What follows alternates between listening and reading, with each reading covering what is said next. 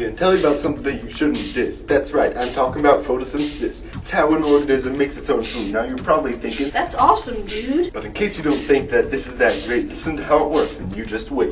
This whole thing starts in the cell chloroplast. You see the groundness if you zoom real fast. Go even closer to the thylakoid membrane. Now start the electron transport chain. The pigment sends the electron on a little cruise and be going to the right like Fox News. Our next up is this protein that carries. The pumps were raised plus the links got buried. So long as that sun is radiant, those ions are moving against their gradient. They get bottled up like in a case, so they can go through ATP synthase. If you need lots of power, turn to ATP, because it's got more force than Obi-Wan Kenobi. Now it's time for another round with the pigment. You're getting energy like a spring this bit. Now it meets with the ferredoxin. Here the chain ends, the electron locks in. And that electron has combined with NADP plus to form NADPH, which is no wuss, because it helps provide power for the Calvin cycle. But McNabb will teach you that stuff better than I will. So I guess that's all I've got for you today. You'll do fine on the test. Just remember to pray. Are you serious?